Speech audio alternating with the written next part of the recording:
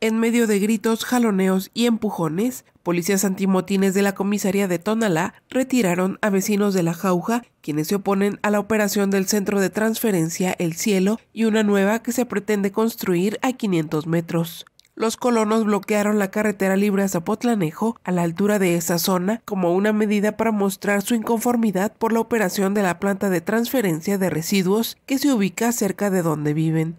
Debido a que no había paso, fue que llegaron los oficiales tonaltecas para retirar a los quejosos. Eh, una manifestación pacífica, pero nos mandan a bastantes patrullas para tratar de reprimirnos.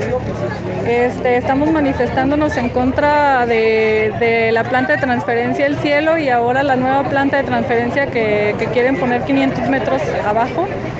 Este, estuvimos manifestándonos y bueno, estamos manifestándonos, eh, pero nos, quisieron reprimir y los policías traían debajo de sus guantes manoplas con las cuales nos querían lastimar, eh, nos golpeaban y nos lastimaban con ellas. Los pobladores tienen un amparo otorgado por el Juzgado Primero Federal, el cual resolvió la suspensión provisional y otra definitiva. Sin embargo, dicha disposición judicial no ha sido acatada por el gobierno municipal informó para Noti 13 Elizabeth Ibal.